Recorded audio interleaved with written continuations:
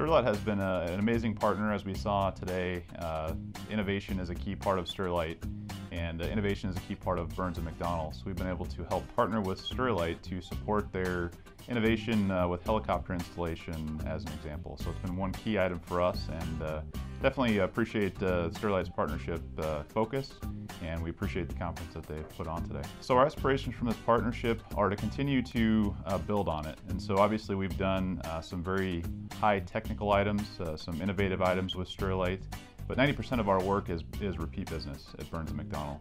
And so partnerships are a critical part of our business.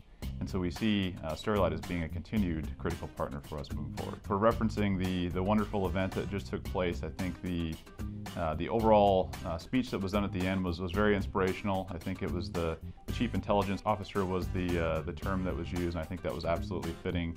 Uh, he did an amazing job of, of, motivating the crowd, but also putting out the vision of, of Sterlite, which will help, obviously, uh, the company of Sterlite, but also helps us understand better the, the vision of Sterlite, and is really, I guess, lit a fire for us to continue to, to expand on this partnership. So we see by 2021, this being the really the critical partnership for us, in particular in the, the transmission uh, field, uh, the T&D field. We see Sterlite being that, that number one partner for us here in India.